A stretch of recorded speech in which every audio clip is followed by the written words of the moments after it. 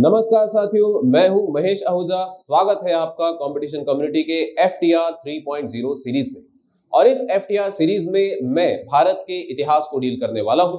FTR series में यह भारत के इतिहास का हमारा पहला वीडियो होगा। और इस वीडियो में हम यूरोपीय कंपनियों के आगमन, सहायक संधि और अठारह के विद्रोह के प्रश्नों को हल करने वाले हैं। आपको इस एफटीआर सीरीज़ में भारत के इतिहास के कुल 11 वीडियो देखने को मिलेंगे। जिसमें से नौ वीडियो प्राचीन, मध्य और आधुनिक इतिहास पर आधारित होंगे, जबकि शेष दो वीडियो भारत के दर्शन के प्रश्नों पर आधारित होंगे, जो एग्ज़ाम पॉइंट ऑफ़ व्यू से बहुत इंपॉर्टेंट होने वाले हैं। हम ऐसे प्रश्नों को लेंगे, जिनमें कॉन्सेप्ट होंगे और कॉन्सेप्ट की गहराई में जाकर हम फैक्ट्स को बाहर निकालेंगे, जो कि एग्ज़ाम में पूछे जाते हैं। यहाँ पर मैं यह भी बताना चाहता हूँ कि सेम एफ़ सीरीज़ हमारे इंग्लिश मीडियम चैनल पर भी चल रही है। So those aspirants who are preparing CGPSC in English medium so it is a high time to subscribe our English medium channel right now चलिए विदाउट वेस्टिंग टाइम शुरुआत करते हैं एफ़ सीरीज़ में भारत के इतिहास की। पहला प्रश्न है, भारत में पुर्तगाली गवर्नरों के बारे में निम्न कथनों पर विचार कीजिए। यह जो प्रश्न है, यह पुर्तगालियों से संबंधित है, क्योंकि भारत में आने वाले पहले यूरोपीय जो है, वो पुर्तगाली थे। इसीलिए पहला प्रश्न मैंने पुर्तगालियों से रखा है। और यह प्रश्न जो है, यह पुर्तगालियों गवर्नरों के बारे में दिए गए कथन है। तो देखिए, कथन आपको दिख रहे हैं तीन।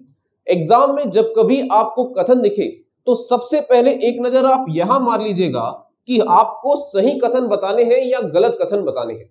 ये काम जो है कंपलसरी है, ये काम जो है मस्ट है और सबसे ज़रूरी काम है छाट लेना ना कि मुझे एग्ज़ाम में जो कथन है, सही कथनों को छाटना है या गलत कथनों को छाटना है। ये काम कर लेने के बाद अब आपको कथन पे नज़र मारनी चाहिए। तो पहला दिख रहा है, भारत में पुर्तगाली सत्ता का जो वास्तविक संस्थापक था, वो था फ्रांसिस्को दे अल्मीडा। पहला कथन फ्रांसिस्को दे अल्मीडा के बारे में। दूसरा, नीनो डी कुन्हा के बारे में है। बोला गया है कि ब्लू वाटर पॉलिसी के लिए जाना जाता है नीलो डी कुन्हा। और जिसका उद्देश्य था पुर्तगालियों का हिंद सागर में स्वामी बनाना। तीसरा जो है वो अल्फांसो डी अल्बुकर के बारे में है। बोला गया है कि 1510 में इसी ने बीजापुर के सुल्तान से गोवा का अधिग्रहण किया था। इन तीनों कथनों में से आपको गलत कथनों को छाटना है। तो आइए सबसे पहले तो मैं आपकी मदद करता हूँ। ये जो आपको दिख रहा है यूरोप यूरोप में सबसे पहले जो यूरोपीय भारत आए थे, वो पुर्तगाली आए थे और जो पुर्तगाली जो है वो लिस्बन से निकला था, वास्को डिगामा पुर्तगाली के बाद अगले जो यूरोपीय आए थे, वो आपके आए थे डच। डच के बाद अगले यूरोपीय ब्रिटिश आए थे और ब्रिटिश के बाद आए थे डेनमार्क से डेन और डेनमार्क के बाद आए थे फ्रांस से फ्रांसीसी। तो यह क्योंकि सब के सब यूरोप से आए थे, इसीलिए आप कहते हो कि यूरोपीय कंपनियों का भारत में आगमन हुआ था। यहाँ नज़र डालने के बाद, अब देखिए मैं आपको जो चीज़ समझाना चाहता हूँ।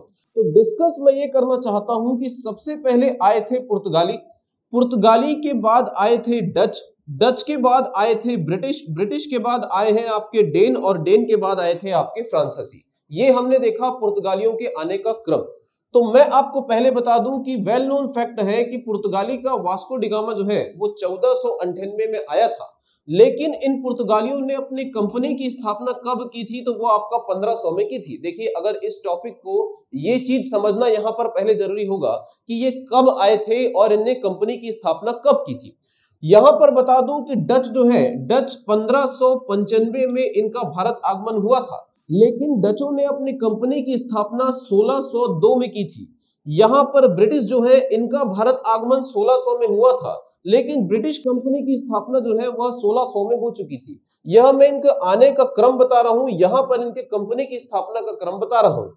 इधर उसके बाद डेन जो है, भारत 1616 में आए थे। और इन्होंने अपनी कंपनी की स्थापना भी 1616 में की थी और सोलह में आए थे फ्रेंच और कंपनी भी बनेगी सोलह में। तो इधर आपको सीक्वेंस आने का क्रम दिख रहा है और इधर कंपनी की स्थापना का क्रम दिख रहा है। यहाँ से प्रश्न एग्ज़ाम में हमेशा पूछे जाते हैं। अब ये समझो, जो पॉइंट मैं बताना चाह रहा हूँ वो ये है, अगर यहाँ नज़र मारे तो कंपनी के स्थापना के क्रम की अगर बात करें तो ब्रिटिश का नंबर लग जाता है सेकंड। लेकिन अगर भारत में आने की बात करें तो ब्रिटिश का नंबर लग जाता है तीन। इस फैक्ट को यहाँ पर ध्यान से आप समझ लीजिएगा कि ब्रिटिश कंपनी की स्थापना डचों के पहले हुई थी, क्योंकि ब्रिटिश की स्थापना 1600 में हो रखी है और डचों की स्थापना जो है 1602 में हो रखी है। तो आने के क्रम में ब्रिटिश का नंबर लगेगा तीन, लेकिन कंपनी की स्थापना का अगर क्रम आएगा तो ब्रिटिश का नंबर लगने वाला है दो। इस चीज़ को पकड़ने के बाद, अब मैं आपको पुर्तगालियों के गवर्नरों के बारे में बताता हूँ। देखिएगा, पुर्तगालियों ने भारत में अपने साम्राज्य को स्थापित करने के लिए जो वन बाई वन गवर्नर भेजे थे, उनमें से तीन इंपॉर्टेंट गवर्नर दिख रहे हैं। पहला गवर्नर जो मैं आपको बता रहा हूँ, ये रहेगा अल्मीडा, यानी कि पुर्तगालियों का पहला गवर्नर अल्मीडा। अल्मीडा के बाद आएगा अल्बुकर्क और अल्बुकर्क के बाद आएगा कुन्हा। देखो ना, क्योंकि जो प्रश्न में लिया हूँ ना, वो गवर्नरों से संबंधित है। तो गवर्नरों के बारे में डिस्कस कर रहा हूँ आपसे। और आने का क्रम और कंपनी की स्थापना का क्रम भी मैं आपसे डिस्कस कर चुका देखिए, अल्मीडा जैसे ही आया तो अल्मीडा 1505 में पुर्तगालियों का गवर्नर बनकर आया तो आते ही हिंद महासागर। पाता है कि भारत के हिंद महासागर में अरब व्यापारियों का पहले ही कंट्रोल है। पूरी तरीके से हस्तक्षेप करके रखे हैं अरब व्यापारी भारत के हिंद महासागर पर। यह दिख रहा है पूरा का पूरा आपका हिंद महासागर है। तो देखिए, अगर यहाँ पर अपने कॉम्पिटिटर्स को बीट करना है मतलब अरब व्यापारियों को बीट करना है तो फ्रांसिस्को डी अल्मीडा जो है, हिंद महासागर को पूरा अपने प्रभुत्व में करने की कोशिश करता है। इनकी जो नौसेना रहती है, ये अरब की नौसेना से तगड़ी रहती है और इसीलिए ना पूरे क्षेत्र पर अपना कब्जा कायम कर लेता है फ्रांसिस्को दी अल्मीडा। इसीलिए नीति भी चला जाता है ना, नीले पानी की नीति, इसीलिए आप इसको ब्लू वाटर पॉलिसी के नाम से जानते हो।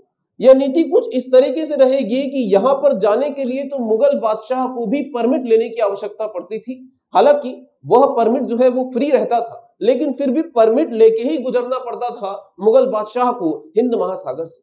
तो इतना दबदबा कायम हो गया था फ्रांसिस्को डी अल्मीडा के समय पुर्तगालियों का हिंद महासागर पे। इसीलिए कहते हैं ना कि ये जो हिंद महासागर था, ये हिंद महासागर न होके पुर्तगालियों का सागर तक कहलाने लगा था।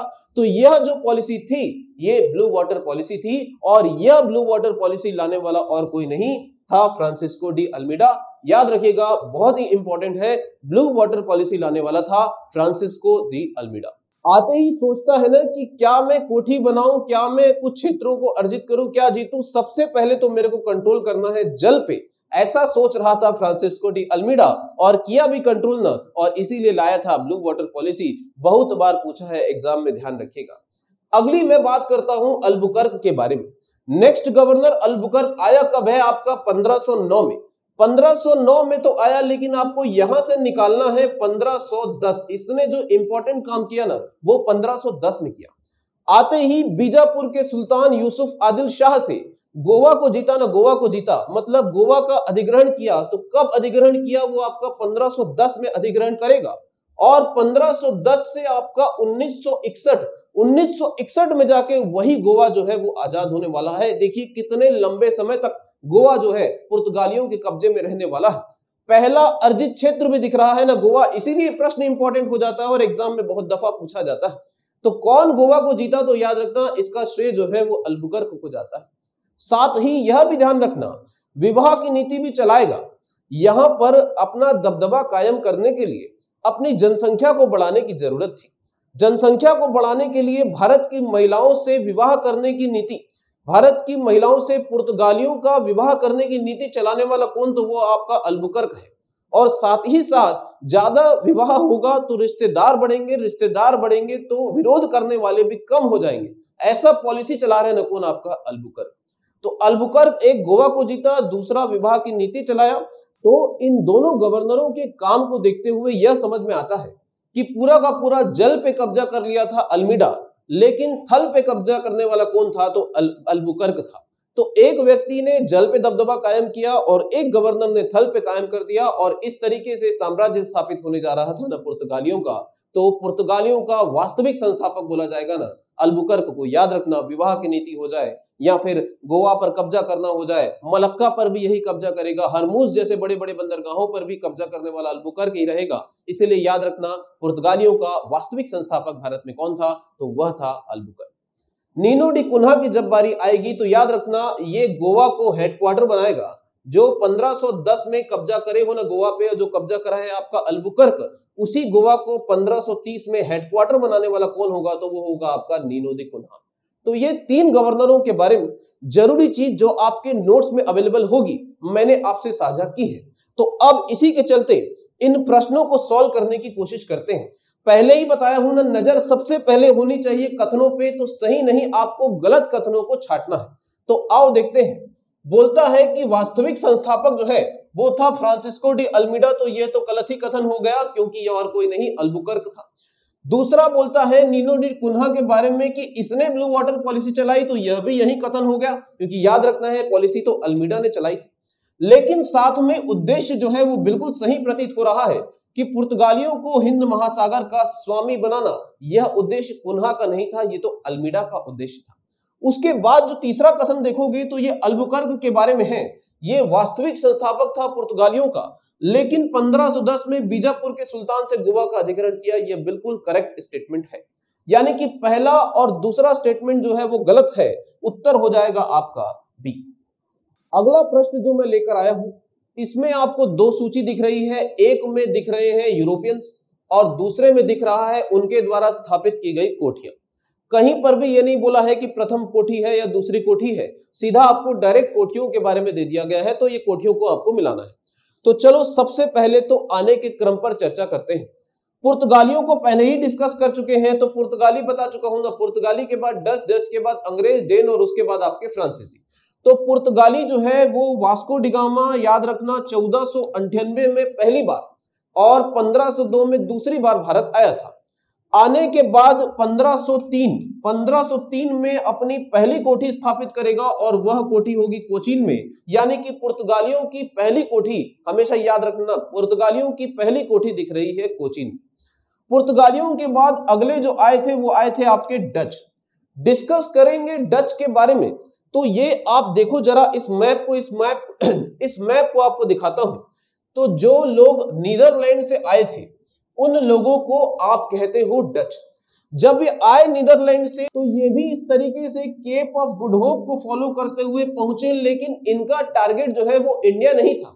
इनका टारगेट जकार्ता था। और यहाँ पर मसालों के द्वीप में ये मसालों का व्यापार करने वाले थे। इसी इंडोनेशिया को आप मसालों का द्वीप कहते हैं।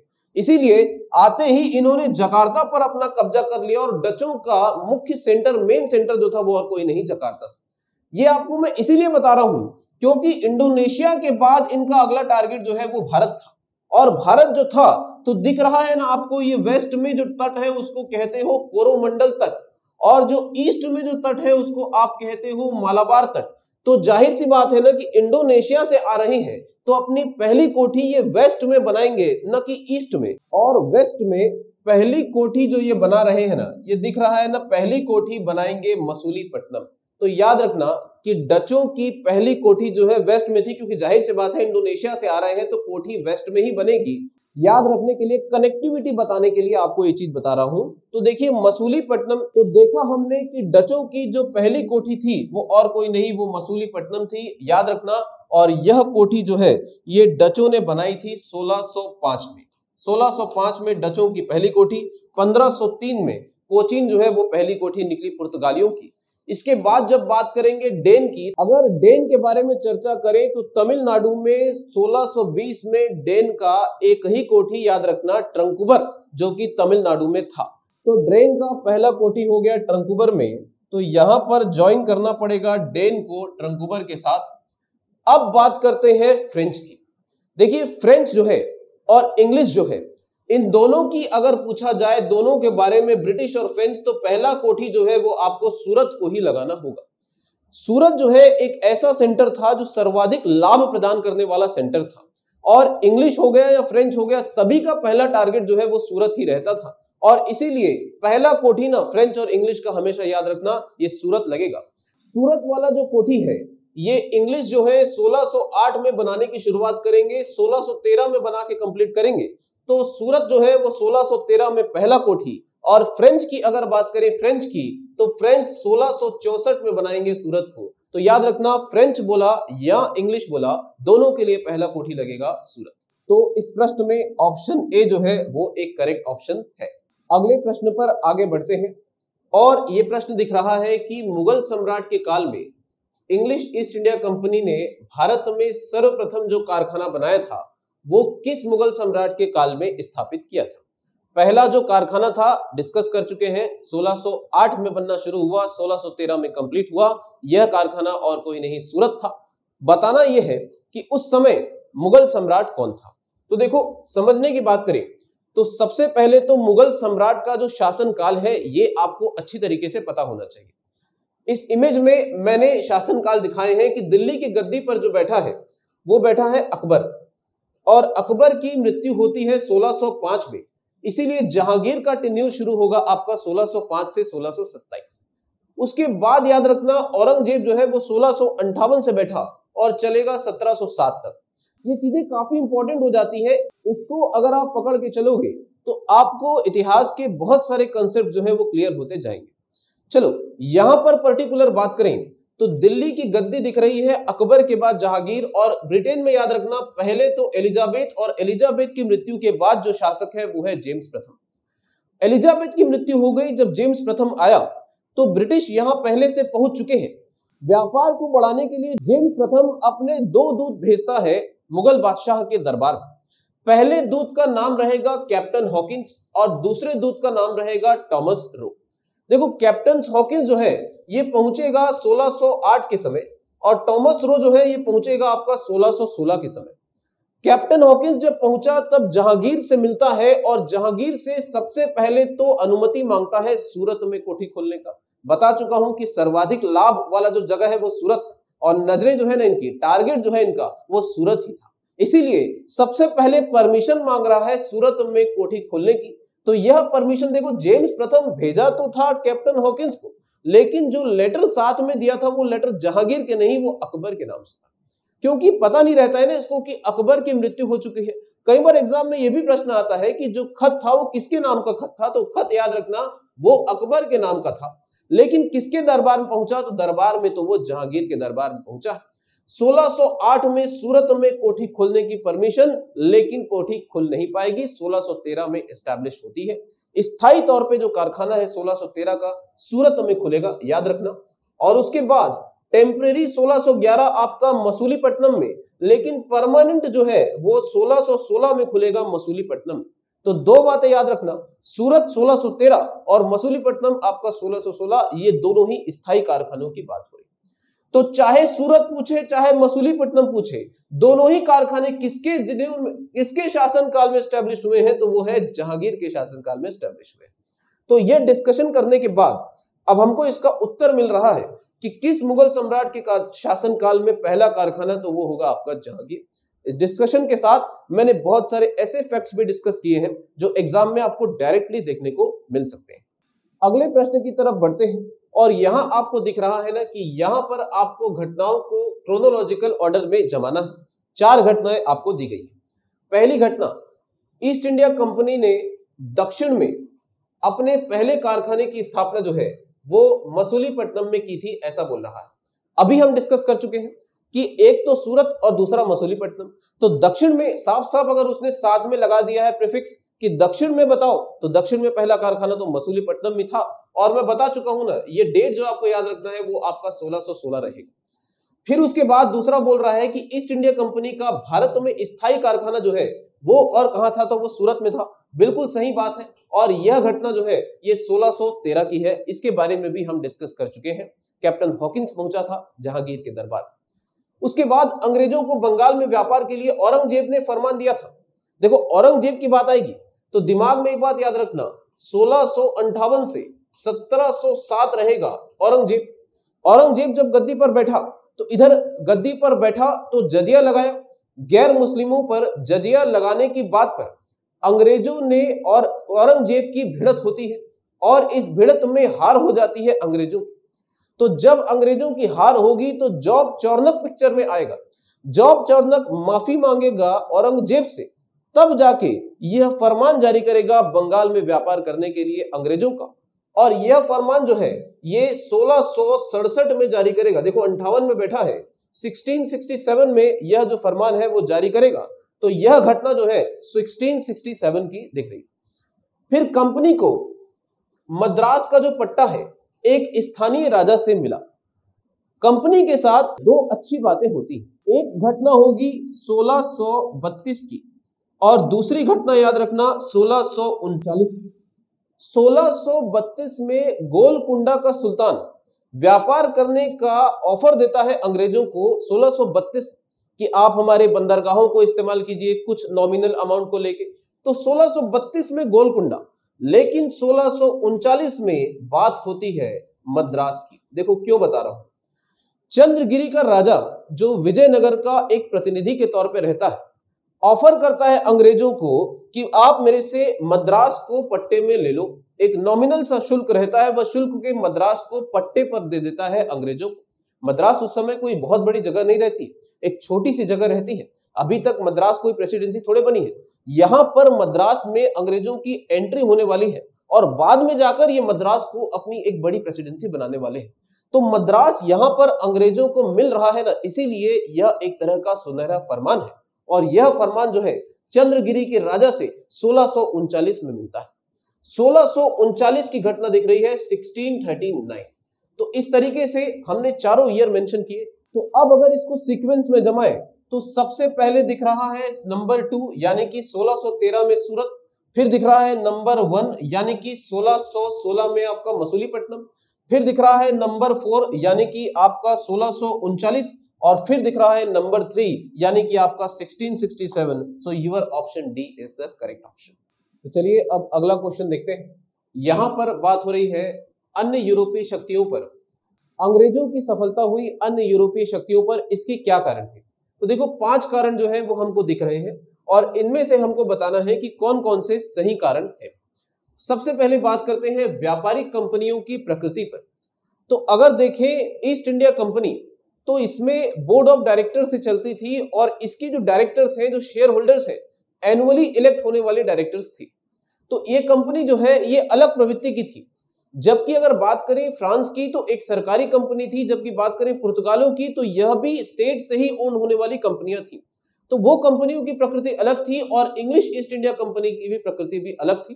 तो इसीलिए अलग प्रकृति होना भी इसके सर्वोच्चता का एक कारण माना जा सकता है। दूसरा, नौसेना की श्रेष्ठता। अपने कॉम्पिटिटर्स यानी कि पुर्तगाली ने बीट किया था अरब को, क्योंकि क्योंकि पुर्तगालियों की नौसेना जो है अरब से ज़्यादा अच्छी हो चली थी। और इन्हीं से सीखकर अंग्रेज़ों ने भी अपनी नौसेना को फ्रांस से और पुर्तगालियों से अधिक श्रेष्ठ बना लिया था। तो नौसेना भी एक कारण हो सकती है इनकी श्रेष्ठता। यहाँ पुनर्जागरण जो है, ब्रिटेन में पुनर्जागरण काफ़ी पहले हो चुका था। और पुनर्जागरण के फलस्वरूप ही वहाँ पर स्टीम इंजन का डेवलप होना, दूसरे अन्य मशीनरी का डेवलप होना, औद्योगिक क्रांति भी अन्य देशों की तुलना में इंग्लैंड में काफ़ी पहले आ चुकी थी। इसीलिए यह भी एक कारण माना जा सकता है। ब्रिटेन में स्थिर सरकार की बात हो रही। है फ्रेंच की अगर बात करें तो सत्रह में 68 में फ्रेंच में भी वायलेंट रिवॉल्यूशन हुआ था। एक क्रांति हुई थी जो वायलेंट थी। और आपके डच और स्पेन अपने 80 साल के युद्ध में पहले ही बिज़ी हो चुके थे। लेकिन उनके कंपेयर में बात करें तो ब्रिटेन में एक स्थिर सरकार थी और वह भी एक कारण बनता है। ईसाई धर्म के प्रचार में कम रुचि कम रुचि रखना। डच की तुलना में, पुर्तगालियों की तुलना में, फ्रांसीसियों की तुलना में यह जो है, वो ईसाई धर्म के प्रचार में कम रुचि रखते थे, बहुत ज़्यादा जेलिस नहीं थे ईसाई धर्म के प्रति और इसीलिए दूसरी कॉलोनीज की तुलना में इनका जो इंग्लिश का जो स्टेटस है, वो ज़्यादा एक्सेप्टेबल था तो यह भी एक कारण हो सकता है, इनकी सर्वोच्चता का। एग्ज़ाम में ऐसे प्रश्न पूछे जा सकते हैं, काफ़ी महत्वपूर्ण प्रश्न दिखाई दे रहा है, संभावना है इस तरह के प्रश्नों के पूछे जाने की, और हमने डिस्कस किए कि ये जो पाँचों कारण है, ये अंग्रेज़ कंपनी की सर्वोच्चता के कारण है। अब जो अगला क्वेश्चन हम देखने वाले हैं, यह दिख रहा है कि प्लासी के युद्ध ने बंगाल में और पूरे भारत में ब्रिटिश सर्वोच्चता के लिए मार्ग प्रशस्त किया था। ये तो बिल्कुल सही बात है। अब ये बताओ कि प्लासी की लड़ाई के कौन कौन से कारण थे? यानी कि फिर आपके सामने रख दिया है कथन और इस बार कथनों की संख्या है चार। जैसे ही कथन देखोगे, चेक करना कि मेरे को सही कथन छाटना है या गलत कथन छाटना है।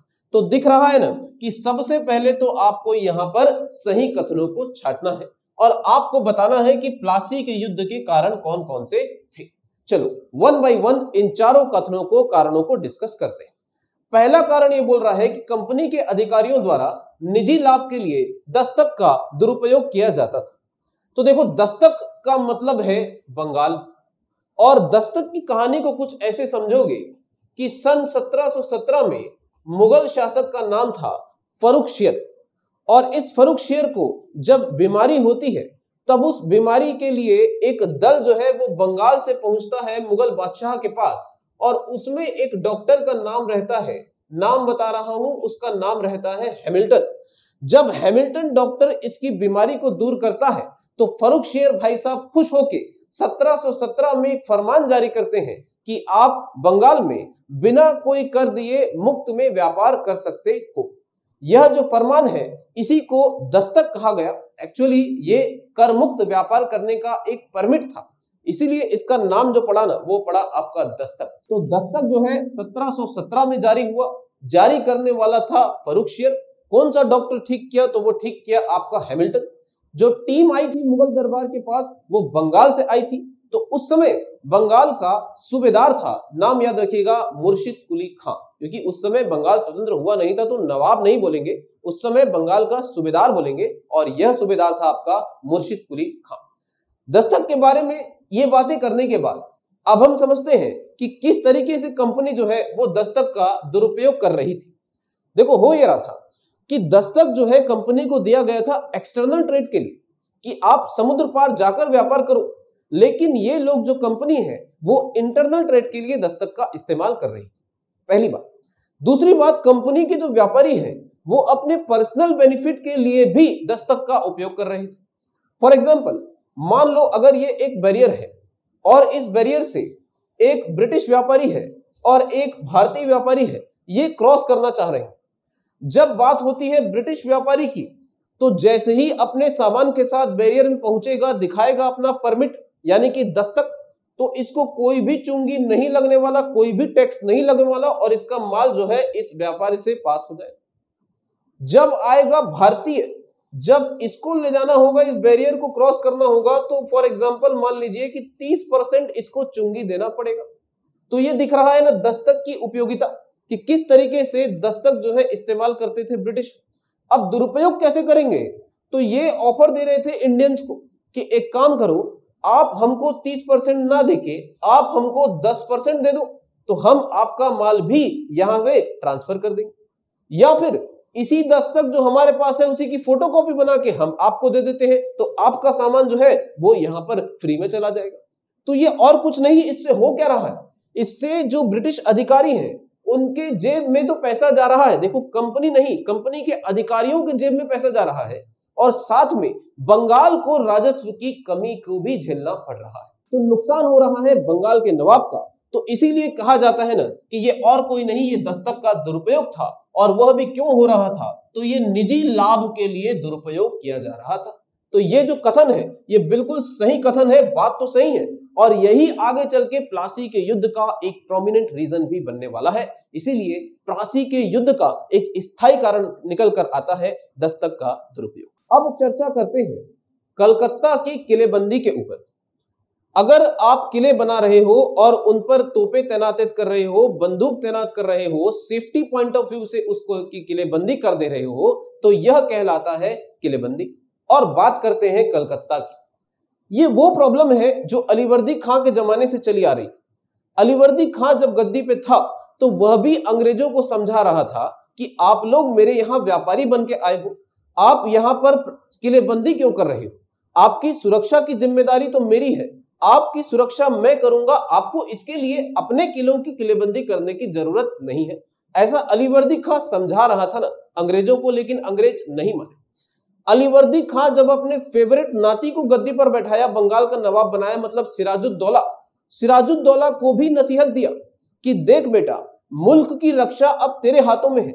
ये जो अंग्रेज़ है किसी भी तरह से इनको किलेबंदी करने की परमिशन मत देना, इनको व्यापारी बनाए रखना ही। और अपने नाना के ही नक्शे कदम पर चलेगा सिराजुद्दौला, और किलेबंदी करने की ना ही परमिशन देगा, और जब करेंगे भी ना तो मना करेगा आपका सिराजुद्दौला। लेकिन अंग्रेज़ नहीं मानने वाले थे, क्योंकि उस समय देखिएगा ना, प्लासी का युद्ध मतलब सत्रह और सत्रह में आपका सप्तवर्षीय युद्ध ब्रिटेन में। तो अंग्रेज़ अपने युद्ध की तैयारी कर रहे थे क्योंकि एक और यूरोपीय शक्ति उस समय एक्टिवेट थी भारत में, जो है आपकी फ्रांसीसी। तो फ्रांसीसियों से डर तो था ही अंग्रेज़ों को, और उस डर के लिए बीट करने के लिए अंग्रेज़ अपनी किलेबंदी लगातार करते जा रहे थे। बंगाल के नवाब सिराजुद्दौला की एक नहीं सुन रहे थे, और यही कलकत्ता की किलेबंदी आगे चलकर अलीनगर की संधि और आगे चलकर चंद्रनगर की कोठी पर आक्रमण। तत्कालिक कारण होगा चंद्रनगर की कोठी पर आक्रमण करना। तो इस तरीके से कलकत्ता की किलेबंदी भी प्लासी के युद्ध का एक प्रोमिनेंट रीजन नज़र आती है। तो दोनों बातें हमने डिस्कस करी। नवाब द्वारा आंतरिक व्यापार पर कर्तव्यों का उन्मल कहीं से भी संबंधित नहीं दिखता है। प्लासी के युद्ध के एक प्रोमिनेंट रीजन जो है वो नहीं दिखता है। राजधानी का मुर्शिदाबाद से मुंगेर स्थानांतरण। मुर्शिदाबाद मुर्शिद कुली खां के नाम पर राजधानी बनाया था, मुर्शिदाबाद मुर्शिद कुली खां के बाद अलीवर्दी खां अलीवर्दी खां के बाद सिराजुद्दौला, राजधानी जो है बंगाल की मुर्शिदाबाद ही रहेगी। जब प्लासी का युद्ध हुआ, तब सिराजुद्दौला भी अटैक करने जब प्लासी का युद्ध पहुँचा था तो मुर्शिदाबाद से ही कूच किया था। मतलब साफ़ है कि प्लासी के युद्ध के समय राजधानी क्या थी तो मुर्शिदाबाद ही थी। यह जो घटना है, स्थानांतरण की घटना, ये तो 1762 में हुई थी। सत्रह में हुई थी, जब मीर जाफ़र के बाद, मीर जाफ़र का दामाद यानी मीर कासिम को बंगाल का नवाब बनाया गया था। और जब मीर कासिम बंगाल का नवाब बना तो अंग्रेज़ों के इंटरफेयर से बहुत परेशान हो चला था और स्मार्ट तरीका अपनाते हुए बोला कि मैं ही साइड हो जाता हूँ। तो मुर्शिदाबाद से खुद ही साइड होकर अपना राजधानी मुंगेर को बनाया था। तो इस तरीके से यह घटना जो है सत्रह की है और करने वाला कौन था? तो वो आपका मीर कासिम था। तो ज़ाहिर सी बात है, इसका तो संबंध हो ही नहीं सकता है प्लासी के युद्ध से। तो प्लासी के युद्ध के दो कारण यहाँ पर दिखाई देते हैं। तो इस तरीके से पहला हमने देखा कलकत्ता की किलेबंदी और दूसरा हमने देखा किस तरीके से अंग्रेज़ों ने दस्तक का दुरुपयोग किया। अगला प्रश्न जो हम लेकर आए हैं, ये बंगाल में द्वैध शासन से संबंधित है। प्लासी का युद्ध सत्रह बक्सर का युद्ध सत्रह और उसके बाद सत्रह में एक संधि हुई थी, जिसको आप इलाहाबाद की संधि कहते हो। और इलाहाबाद की संधि के साथ रॉबर्ट क्लाइव का कमबैक हुआ और रॉबर्ट क्लाइव ने समझौता किया, जिसके तहत बंगाल में द्वैध शासन लागू हुआ सत्रह सौ पैंसठ में। बात करते हैं द्वैध शासन की। तो द्वैध शासन आया तो सही, सत्रह में लाने वाला होगा रॉबर्ट क्लाइव और सत्रह में ये जो द्वैध शासन है वो खत्म करने वाला होगा वारन हेस्टिंग्स। द्वैध शासन कहाँ लागू हुआ था? तो याद रखना, बंगाल में लागू हुआ था, लाने वाला क्लाइव और हटाने वाला था वारन हेस्टिंग्स, जस्ट सत्रह सौ पैंसठ में इलाहाबाद की संधि के बाद। चलो, क्या था द्वैध शासन? देखो, होता यह था कि बंगाल में दो फ़ंक्शन होते थे। एक फ़ंक्शन को आप कहते थे दीवानी फ़ंक्शन और दूसरे फ़ंक्शन को बंगाल में आप कहते थे निजामत फ़ंक्शन दीवानी फ़ंक्शन का मतलब है जो पूरा का पूरा रेवेन्यू कलेक्ट करने वाली जो बात होगी मतलब राजस्व को संग्रह करने वाली बात होगी, वो फ़ंक्शन आपका कहलाता था। दीवानी मतलब इकोनॉमिक पैसे से संबंधित मामला, ठीक है ना? और इसका काम जो करता था ना, उस काम को मतलब उस पोस्ट को आप कहते थे दीवान। इधर जब निजामत की बात आ रही है तो सीधा सीधा बात समझो, प्रशासनिक कार्यों की बात आ रही है। शांति, सुरक्षा, न्यायिक कार्य, ऐसे संबंधित मतलब प्रशासनिक कार्य मतलब सड़क बनवाना हो गया, पुल बनवाना हो गया, जो भी ग्रोथ वाला हो गया, मेले लगवाना हो गया, सांस्कृतिक कार्यक्रमों का आयोजन हो गया मतलब जो काम थे ना एडमिनिस्ट्रेशन को मेंटेन करने वाले, वो काम थे आपके निजामत और जो पोस्ट इसके लिए अपॉइंट थी, वो थी आपकी सुबेदार। चलिए, यहाँ पर बात ये न करते हुए द्वैध शासन को समझते हैं क्या था। ये जो दीवानी वाले राइट्स थे, ये दीवानी वाले राइट्स जो हैं कंपनी को तो दीवानी और निजामत दोनों राइट्स मिल चुके थे लेकिन दीवानी वाले राइट्स जो है, बंगाल, बिहार और उड़ीसा, तीनों जगह की दीवानी राइट्स कंपनी ने अपने हाथ में रखा था। मतलब यह था कि पैसा जो है, राजस्व जो है, वो सीधा ईस्ट इंडिया कंपनी के पास आना चाहिए। यानी कि पावर है, कोई रिस्पॉन्सिबिलिटी नहीं है। क्यों? क्योंकि कार्य करने की ज़िम्मेदारी जो है, वो किसके पास है तो वो सिर्फ़ और सिर्फ़ नवाब के पास है। मतलब इनपुट हम लेंगे, लेकिन आउटपुट देने का काम किसका था? आपका, नवाब का था। बिल्कुल वन वे प्रोसेस चल रहा था, पैसे की बात। कोई रिस्पॉन्सिबिलिटी अंग्रेज़ों को नहीं है। जब रिस्पॉन्सिबिलिटी की बारी आ गई तो वो किसकी आ गई? आपकी नवाब की आ गई। पावर विदाउट रिस्पॉन्सिबिलिटी अंग्रेज़ ये अंग्रेज़ों का था और नो पावर ओनली रिस्पॉन्सिबिलिटी ये दिख रहा है किसका था? नवाब का था। तो ये जो सिस्टम था ना आपका, ये कहलाता था आपका बंगाल में द्वैत शासन। बंगाल पूरी तरीके से कमज़ोर होता गया और जब अकाल पड़ा, तब अंग्रेज़ों को समझ में आया कि बहुत गलत काम कर रहे हैं। आते ही वॉरन हेस्टिंग्स सत्रह सौ बहत्तर में बंगाल में द्वैत शासन को हटाएगा। अब आते हैं, क्या पूछा है क्वेश्चन में? बोला है कि कंपनी ने वित्त और प्रांत का प्रशासन को नियंत्रित किया। अभी बता चुका हूँ इनपुट हम लेंगे इनपुट तो हम लेंगे, लेकिन प्रांत का जो प्रशासन है, वो कौन देखेगा? नवाब देखेगा। तो किसी एंगल से सही नहीं है ये वाला कथन आपका। इनपुट हमारा होगा आउटपुट नवाब का होगा, प्रशासन कौन देखेगा? नवाब देखेगा। दूसरा स्टेटमेंट नवाब अपने आंतरिक और बाह्य दोनों सुरक्षा के लिए अंग्रेज़ों पर निर्भर था। तो भैया, मजबूर तो था ही। चाहे इंटरनल सिक्योरिटी हो या आउटरनल सिक्योरिटी दोनों के लिए पूरा डिपेंडेंसी हो गया था ना किसका, आपका अंग्रेज़ों पे। तो ये कथन किसी एंगल से गलत नहीं हो सकता। वैध शासन से संबंधित सारे फैक्ट्स मैंने आपको समझा दिए हैं और इन दोनों कथनों के साथ आपने इसके कंसेप्ट को भी अच्छी तरीके से समझ गया होगा। पूछा है कौन सा कथन सही है तो जो सही कथन है, वो खाली दूसरा। अठारह का विद्रोह। जोड़ों पर विचार करना है, एक तरफ़ सेंटर दे दिया गया है, दूसरे तरफ़ आपको उनके लीडर्स दे दिया गया है और पूछा है कि संतावन के विद्रोह के दौरान नेता तथा उनके क्षेत्रों में संबंध का मिलान किया गया है। बताया हूँ ना, जैसे ही देखना है तो सबसे पहले छाटना है, सही पूछा है कि सही नहीं है पूछा है, यहाँ पर ध्यान देना, सबसे पहले तो गोला तो लगाना ही है।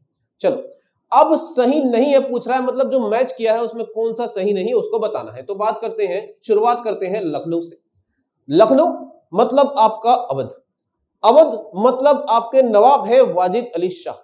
नवाब है तो बेगम भी होगी, बेगम है आपका बेगम हज़रत महल। और बेगम है, नवाब है तो यहाँ पर उत्तराधिकारी होगा बिरजिस कादिर। बिरजिस कादिर नाम का इनका उत्तराधिकारी होगा। अवध लखनऊ की बात करें तो अंग्रेज़ों का एक वफादार दोस्त सत्रह में बक्सर के युद्ध में सपोर्ट करने के बाद, सत्रह में इलाहाबाद की संधि होने के बाद 100 सालों तक अंग्रेज़ों का वफादार दोस्त अच्छी तरीके से वफादारी तक दोस्ताना निभाएगा। लेकिन पाता यह है कि 1801 में सहायक संधि से साइन करवाएँगे। किसका? आपका अवध का। 1801 में सहायक संधि से साइन और 1801 के बाद याद रखना 1856 में डलहौजी की हड़प नीति अरे, दोनों इसका शिकार किए ना।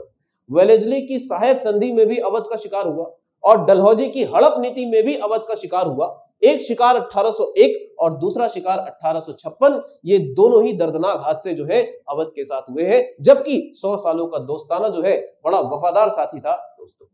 हड़पे भी हैं तो अवध को तो हड़पे कैसे है ये सुनना? नियम था कि तुम्हारा जो है दत्तक पुत्र नहीं होना चाहिए, गोद लेना भी निषेध था, ये था दलहौजी की हड़प नीति।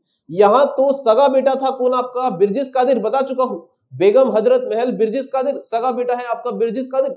लेकिन तो अवध पे बहाना बनाए कि आप कुशासन कर रहे हो, आपके रहते प्रशासन ठीक तरीके से नहीं चल रहा है, भ्रष्टाचार हो रहा है, इसीलिए आपका शासन जो है वो सही नहीं है। हमारा यानी अंग्रेज़ों का प्रशासन जो है वो ज़्यादा सही है। कुशासन का आरोप लगाएँगे अठारह में अवध को हड़प लेंगे। बेगम नाराज़ होना तो जायज़ था। कलकत्ता कलकत्ता निर्वासित कर दिया हमारे नवाब साहब को और बेगम का नाराज़ होना ज़ाहिर था और बेगम अब बिगुल बजाना चाहती थी विद्रोह का और विद्रोह होगा अठारह जो से शुरुआत होती है 10 मई अठारह से मेरठ से इसकी शुरुआत होती है और जब यह विद्रोह लखनऊ में हो रहा है, उस समय इस विद्रोह का नेतृत्व करने वाली होंगी बेगम हज़रत महल। तो लखनऊ का ऑप्शन जो है, बेगम हज़रत महल के साथ जुड़ता है, खान बहादुर के साथ नहीं जुड़ता है। कानपुर की अगर बात करें तो कानपुर में जब आओगे तो यहाँ पर पिक्चर में आते हैं नाना साहब, जो कि पेशवा बाजीराव सेकंड के दत्तक पुत्र थे। गोद लिया था धोंदू पंत नाम के शख्स को, जिनको आप नाना साहब के नाम से जानते हो। जब पेंशन बंद होती है भाई, जब पेशवा बाजीराव को आंग्ला मराठा युद्ध में, तीसरे युद्ध में, जब इन्होंने पेंशन दिया था, आठ लाख रुपए पेंशन और कहा महाराष्ट्र में पूना में रहते थे, भेज दिया था बिठूर। और बिठूर में तो पले बड़े थे आपके नाना साहब, कानपुर के बिठूर। बहुत दूर भेज दिया था, ताकि कहीं को संगठित होकर कम बैक न कर सके आपके पेशवा बाजीराव सेकंड। नाना साहब का बिठूर में ही पालन पोषण होगा, इसीलिए कानपुर में विद्रोह का नेतृत्व कौन करेंगे आपके नाना साहब? देखिए, ये जो मराठा है ना तो लग रहा है कानपुर ना हो कि कहा होना चाहिए, आपका महाराष्ट्र तरफ़ होना चाहिए। देखिए, इनको तो रिटायर कर दिया गया था और रिटायर करके भेज, कहा दिया गया था बिठूर, जो कि कानपुर के पास है, आठ लाख रुपए पेंशन देते। वही पेंशन नाना साहब मांगे, अंग्रेज़ों ने मना कर दिया। अपने मंत्री अजीमुल्ला खां को भी भेजे हैं ब्रिटेन, की समझाओ महारानी विक्टोरिया को कि मेरे को पेंशन दे, लेकिन महारानी विक्टोरिया का भी जवाब पॉजिटिव नहीं होता है। ठान लेते हैं नाना साहब कि मैं विद्रोह का जन्म लूँगा और कानपुर में विद्रोह का नेतृत्व करेंगे नाना साहब। इनके चरित्र पर अगर बात करें तो एक चीज़ और बताना चाहूँगा, एक घटना है जो इनसे संबंधित और वह घटना जो है काफ़ी महत्वपूर्ण है, वो इसलिए मैं आपके साथ चर्चा करना चाहूँगा। जब अंग्रेज़ों को, महिलाओं को बैठाकर, कुछ अंग्रेज़ों को मिटाकर ये कहीं भेज रहे थे तब वहाँ पर एक घाट में एक घटना हो जाती है जो इनके चरित्र पर दाग की तरह देखा जाता है। नाना साहब के दामन में दाग की तरह अंग्रेज़ कहते हैं। यह घटना जो है काफ़ी महत्वपूर्ण है, जो नाना साहब से संबंधित है। मेरे को कमेंट करके बताना उस घटना का नाम क्या था। और अगर नहीं तो सर्च करके देखना कि उस घटना का नाम क्या था। एक इंपॉर्टेंट प्रश्न यहाँ पर बनता है। बरेली की बात करें तो देखो, कानपुर में नाना साहब जो है कनेक्शन जो है वो बिल्कुल राइट है। यहाँ पर कुछ भी गलत नहीं है। बरेली की बात करें तो बरेली में बेगम हज़रत महल कैसे हो सकती है? क्योंकि बरेली, बेगम हज़रत महल का संबंध किससे है? आपका लखनऊ से है, यानी कि ये भी आपका गलत हो जाता है। बरेली में जो नेतृत्व थे, उनका नाम था बख्त खां, और बख्त खां को ही आप खान बहादुर खां के नाम से जानते हो। बरेली का कनेक्शन जो है, खान बहादुर खां से साथ होगा, और वही बरेली से अठारह के सिपाहियों के साथ वो दिल्ली पहुँचे थे, और दिल्ली पर भी उन्होंने लीडरशिप का काम किया था। हम बात कर रहे हैं बख्त खां के बारे में। फैजाबाद से, फैजाबाद में लीडरशिप था, मौलवी अहमदुल्ला। इन्होंने इनके बारे में याद रखना कि जिहाद के नाम पर इन्होंने लोगों को एकत्रित किया था और इतना परेशान कर दिया था इन्होंने अंग्रेज़ों को कि पचास हज़ार रुपए का इनाम भी फैजवी मौलवी अहमदुल्ला पर इन्होंने रखा था। तो करेक्ट है फैजाबाद और मौलवी अहमदुल्ला का ऑप्शन जो है वो बिल्कुल करेक्ट है। तो दिख रहा है ना? क्या पूछा है? देखना ध्यान से ध्यान से ना, अगर यहाँ पर ध्यान देना बहुत ज़रूरी है, सही नहीं है पूछा है तो एक तो सही नहीं है पहला और दूसरा सही नहीं है तीसरा, यानी कि आपका वन एंड थ्री ओनली अगला प्रश्न पर विचार करो।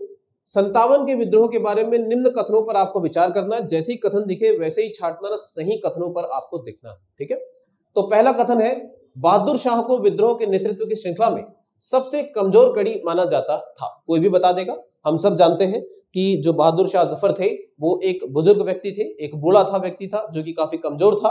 बड़ी बुरी तरीके से बेज्जती भी अंग्रेज़ों ने कर रखी थी। डलहौजी ने इसको बोला, आप अपना लाल किला छोड़ो और जाके कुतुब मीनार के पास एक जगह पर जाकर रहो। सिक्कों पर से इसका नाम हटा दिया गया था। भिखारी जैसी स्थिति कर दी थी बहादुर शाह ज़फ़र की और बाद में बहादुर शाह ज़फ़र की और बाद में तभी ये अठारह के विद्रोह के समय भारत का सम्राट बना दिया जाता है बहादुर शाह ज़फ़र को। तो एक कमज़ोर कड़ी था, ये हम अच्छी तरीके से समझ सकते हैं। तो ये ऑप्शन तो करेक्ट है। विद्रोहियों का व्यापक दृष्टिकोण धार्मिक पहचान से प्रभावित नहीं था। धार्मिक पहचान से बिल्कुल प्रभावित नहीं था, क्योंकि आप देख रहे हो, बेगम हज़रत महल वक्त खां मतलब जो लीडर्स है, वो मुस्लिम लीडर्स है। और यह जो विद्रोह है, ये मुगलों के साथ मिलकर हो रहा है। तो आप कैसे कह सकते हो कि वो किसी धार्मिक पहचान से प्रभावित था? ये किसी भी धार्मिक पहचान से प्रभावित नहीं था। इनका जो दृष्टिकोण है, वो धार्मिक नहीं था। इसीलिए ये भी एक करेक्ट ऑप्शन दिखाई दे रहा है। सामान्य नागरिक विद्रोह में शामिल नहीं हुए थे। अवध से रिलेट करता हूँ इसको। अवध मतलब अभी बता चुका हूँ ना, सत्रह से दोस्ताना शुरू हुआ, ठीक है? 1801 में वेलेजली ने इसको अपना शिकार बनाया, सहायक संधि। 1856 में डलहौजी ने इसको अपना शिकार बनाया मतलब कौन सा नीति? आपका हड़प नीति। और इसी में ध्यान रखना, अवध से ही मैक्सिमम सिपाही जो है, वो ब्रिटिश की सेना में शामिल। चाहे आप कृषक हो गए, मजदूर हो गए, दस्तकार हो गए कोई भी वर्ग क्यों ना हो जाए? सभी के सभी नाराज़ हो गए जब उनके एम्पायर के साथ, उनके अवध के साथ ऐसा काम किया गया था। तो सभी के सभी का नाराज़ होना लाजमी और नाराज़ हुए तो वो अपने आप तो वो इस विद्रोह में शामिल हुए। इसका मतलब साफ़ है कि इस विद्रोह में जो नागरिक है, नागरिक, वो भी शामिल हुए थे। ऐसा नहीं है कि वो शामिल नहीं हुए थे। यह जो सेंटेंस है, वो एक गलत सेंटेंस है और यह जो तीसरा सेंटेंस है, ये आपका अवध से बिलोंग करता है। अवध में जो विद्रोह हुआ, लखनऊ में जो विद्रोह हुआ, उसके नेतृत्वकर्ता भी डिस्कस कर चुके हैं, बेगम हज़रत महल, नवाब था वाजिद अली शाह। तो इस तरीके से जो सही कथनों को हमको बताना है तो पहला और दूसरा जो है, वो सही कथन है। अगला प्रश्न, सरल सा लग रहा है, आसान सा लग रहा है, लेकिन एग्ज़ाम में बहुत बार पूछा गया है। इसीलिए इस प्रश्न को मैं यहाँ पर लाना समझ रहा था, ज़रूरी इंडियन वॉर ऑफ़ इंडिपेंडेंस अठारह नामक पुस्तक के लेखक कौन है? इस पुस्तक के लेखक है वी डी सावरकर। देखिए वी डी सावरकर का संबंध जो है, वो महाराष्ट्र से और महाराष्ट्र का मतलब है अठारह में। वी डी सावरकर ने जो संस्था स्थापित की, नासिक में एक संस्था स्थापित की, जिसको आप कहते हो मित्र मेला। और वही मित्र मेला जो है 1904 में वही मित्र मेला जो है 1904 में आपका अभिनव भारत नाम की संस्था महाराष्ट्र में बनाएँगे वी डी सावरकर। इतना काम करने के बाद, देखो अभिनव भारत 1904 इतना काम करने के बाद वी डी सावरकर गए लंदन, क्योंकि पढ़ाई के लिए इनको अच्छी खासी स्कॉलरशिप मिली और बाल गंगाधर तिलक ने इतने ब्राइट स्टूडेंट को देखते हुए स्कॉलरशिप दिलवाई और इनको भेज दिया लंदन। लंदन में इंडिया हाउस में रहे और इंडिया हाउस में रहते हुए इन्होंने संतावन के विद्रोह पर एक किताब लिख दी, जिस किताब को कहते हैं इंडियन वॉर ऑफ़ इंडिपेंडेंस 1857 ये एक ऐसी किताब थी, जिसमें इन्होंने इस विद्रोह को स्वतंत्रता संग्राम का दर्जा दिया था। अभी तक तो सारे के सारे राइटर जो है, विद्रोह विद्रोह ही कहते थे, लेकिन इन्होंने इस स्वतंत्रता, इस विद्रोह को स्वतंत्रता संग्राम कहा था, वो भी प्रथम स्वतंत्रता संग्राम। यही कारण है कि बेहद इंपॉर्टेंट हो जाता है ये क्वेश्चन और इस बुक पर अंग्रेज़ों ने प्रतिबंध भी लगा दिया था, क्योंकि यह बुक जो है संतावन के विद्रोह से थी। याद रखना, V Savarkar, Indian war of independence 1857 तो आइए संतावन के विद्रोह के बाद, अब संतावन के विद्रोह के बाद पर चर्चा करते हैं और इस वीडियो का लास्ट क्वेश्चन उठाते हैं। संतावन के विद्रोह के बाद भारतीय सेना में क्या बदलाव किए गए? देखिए, प्रश्न जो है क्या बदलाव किए गए? ज़ाहिर सी बात है, अंग्रेज़ों को विद्रोह का दमन कर चुके थे। अब दमन के बाद इन्होंने अपनी क्या तैयारी की? इस पर उठाया गया प्रश्न है। काफ़ी महत्वपूर्ण है। प्रश्न ऐसा एग्ज़ाम में आपको मिल सकता है। देखो, सेना में भारतीय और यूरोपीय लोगों के अनुपात में। अच्छा आगे बढ़ने से पहले मैंने हमेशा बताया है, जहाँ कथन है, वहाँ चेक करो। सही की गलत, सही विकल्पों को आपको बताना है। क्या बोल रहा है? भारतीय और यूरोपीय लोगों के अनुपात में समान रूप से वृद्धि की गई। पहले अनुपात क्या था और बाद में अनुपात क्या था? पहले अनुपात यह था कि फाइव इज़ टू वन का रेशियो मेंटेन करते थे। पाँच भारतीयों के पीछे एक अंग्रेज़ सैनिक को रखते थे। लेकिन अब इन्हें समझ गए कि अब हमको अनुपात को बदलना होगा। तो जैसे बंगाल वाला रीजन हो गया, इस रीजन में जो ज़्यादा सेंसिटिव रीजन था, वहाँ पर इन्होंने इस अनुपात को टू इज़ टू वन अनुपात कर दिया था। मतलब दो भारतीयों के पीछे एक अंग्रेज़ की नियुक्ति, एक अंग्रेज़ सैनिक की नियुक्ति हो। लेकिन वहीं अगर दूसरा रीजन ये बंगाल के लिए था। और बंगाल के बाद अगर आप मद्रास की बात कर लो, बॉम्बे की बात कर दो अलग अलग है ना, वो ईस्ट हो गया, साउथ हो गया। यहाँ पर इन्होंने रखा था फाइव इज़ टू टू का अनुपात इन्होंने फॉलो किया था, पाँच भारतीयों के पीछे दो अंग्रेज़ सैनिक। तो देखो, अनुपात जो है, वो चेंज होना तो लाजमी था ही, लेकिन चेंज भी यूनिफॉर्म नहीं हुआ था। अलग अलग रीजन पर अलग अलग इन्होंने डिसाइड किया हुआ था। लेकिन यहाँ पर क्या दिया है कि समान रूप से वृद्धि की गई तो नहीं, समान रूप से वृद्धि नहीं की गई, यह गलत बात सैनिकों के बीच में जाति के प्रति वफादारी को प्रोत्साहित किया गया। हाँ यहाँ पर जाति हो गया, यहाँ पर कम्युनल चीज़ों को ज़्यादा प्रोत्साहित किया गया और ट्रूप्स को जो है वो मिक्स रखा गया। अलग अलग जातियों के लोगों को मिक्स किया गया ताकि कल को अगर फिर से वही सिचुएशन आ जाए तो वापस विद्रोह जो है ना खड़ा हो जाए। इसीलिए उन्होंने यहाँ पर जाति के प्रति वफादारी को याद रखना प्रोत्साहित किया है। यह कथन जो है बिल्कुल सही है। लोगों के सेंटिमेंट्स जो है वो फिर से उजागर ना हो जाए। इसीलिए जाति के प्रति वफादारी को उन्होंने प्रोत्साहित किया था। मार्शल और गैर मार्शल वर्ग की अवधारणा शुरू हुई थी। ये इनका बहुत बड़ा डिसीज़न था और बहुत इंपॉर्टेंट बहुत ज़्यादा समझदारी वाला डिसीज़न भी था। देखो क्या हुआ था? दो चीज़ें इन्होंने बनाई थी। एक था मार्शल कैटेगरी और एक जो रीजन उन्होंने बनाया था वो था non martial category non martial category का मतलब है कि यहाँ से ज़्यादा नियुक्ति नहीं की जाएगी। लार्ज अमाउंट में सोल्जर्स जो है वो नियुक्त नहीं किए जाएँगे। अब कहाँ से लार्ज अमाउंट में सोल्जर्स नहीं नियुक्त किए जाएँगे आपको समझना होगा। सेंट्रल इंडिया जो पूरा का पूरा एक्टिव था, हमको मालूम है अठारह की क्रांति जो है, उसकी जो आग है पूरे सेंट्रल इंडिया में फैली थी, चाहे अवध हो गया, चाहे बिहार हो गया। तो अवध, बिहार और सेंट्रल इंडिया जो रीजन थे, वो सब नॉन मार्शल घोषित किए गए थे, जिसमें से ज़्यादा अब सैनिकों को रिक्रूट नहीं करना था, क्योंकि अगर एक ही जगह से ज़्यादा रिक्रूट कर देंगे, वही विद्रोह बोल देंगे तो फिर मुश्किल में फंस सकते थे। तो non martial category martial category में किन लोगों को तो जिन्होंने विद्रोह को सप्रेस करने में साथ दिया था। जैसे कि, अगर आप बात करो सिख की, अगर आप बात करो गोरखा की, अगर आप बात करो पठान की, इन्होंने विद्रोह को सप्रेस करने में साथ दिया था। इसीलिए इनको मार्शल कैटेगरी में रखा गया था। और मार्शल कैटेगरी का मतलब है कि लार्ज नंबर ऑफ़ सोल्जर जो है, वो अब यहीं से रिक्रूट किए जाने थे। तो ज़ाहिर सी बात है, ये स्टेटमेंट बिल्कुल सही है कि मार्शल और गैर मार्शल वर्ग की अवधारणा की शुरुआत हुई। संतावन के बाद की भारतीय सेना का इस्तेमाल अकेले भारत की रक्षा के लिए किया जाने लगा तो नहीं यह कथन बिल्कुल गलत है। उसका इस्तेमाल अकेले भारत के लिए नहीं किया जाने लगा था। तो क्या बताना है? सही विकल्पों को बताना है तो आपका उत्तर हो जाएगा। तो इसी के साथ हमने डिस्कस किए कुछ कॉन्सेप्ट्स और कॉन्सेप्ट्स के साथ हमने फैक्ट्स भी आपके सामने लाकर रखे हैं। उम्मीद करता हूँ कि आपको इस रिवीजन से फ़ायदा हुआ होगा। मिलते हैं अगले क्लास में, जिसमें मैं और भी कुछ इंपॉर्टेंट टॉपिक्स और क्वेश्चंस लेकर आऊँगा। थैंक यू जय हिंद सी की संपूर्ण तैयारी के लिए कंपटीशन कम्युनिटी के यूट्यूब चैनल को सब्सक्राइब कीजिए और डेली अपडेट्स के लिए बेल आइकन को प्रेस करना ना भूलें।